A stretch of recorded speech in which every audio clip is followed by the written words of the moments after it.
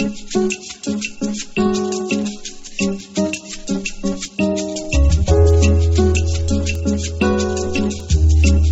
going to watch The Avengers while my family is going out to eat for lunch. That should be a great choice.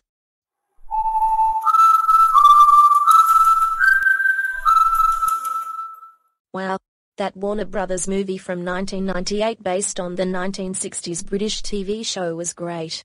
The actors Ralph Fiennes, Uma Thurman, Sean Connery, and Jim Broadbent, as well as the special effects were cheesy as hell.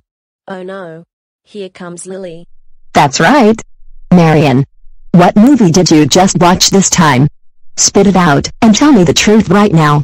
Well Lily, you're going to be mad once I say this. But I just watched The Avengers. Wait. What? Oh my god. Marion. How dare you watch The Avengers? You know that it is one of the worst films of the 90s. And plus, that movie has a 5% rating on Rotten Tomatoes. Not only that, but it was also nominated for 9 Golden Raspberry Awards, including Worst Picture. And did you know that it went on to win the Worst Remake or Sequel category, along with Godzilla and Psycho?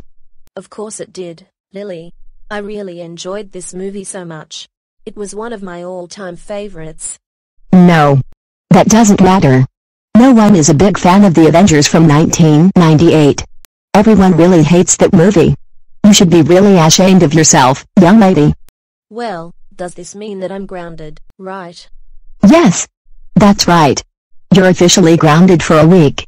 There will be no TV, no video games, no computer, no restaurants, no rated R and C-17 movies, no junk food, no activities that you like, no amusement parks, no water parks, no music, no vacations, no hanging out with your friends, no concerts, no sports, no family outings, and no other things.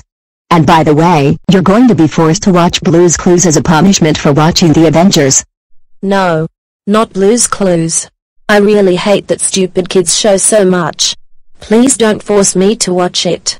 I'm so sorry for watching The Avengers. Well too bad. That's what you're getting for watching The Avengers.